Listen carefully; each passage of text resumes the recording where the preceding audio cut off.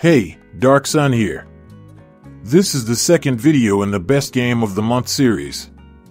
So for February, in the fantasy genre, I chose Nephilim. Although it is really good, not many people know about it, and as the latest update was a few days ago, now is the perfect time to talk about it. If you start this game now, you will get more than two hours of gameplay. Nephilim tells the story of a young man growing up.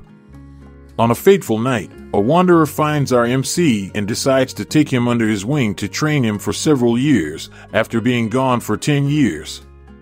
You return to your home village, now a young man hardened by years of rough training and mental challenges from your teacher. You are now ready to follow your own path in life. As a young man, there's much growth to be had on your journey through challenges, choices, friendships, and possibly even love. Discover what it means to be an Nephilim. Will you give in to the powers of darkness? Or will you be a symbol of hope? This game has a really interesting story. The character design is beautiful in this game, and the scenes are animated. Each character has their own unique personality, so they felt lifelike.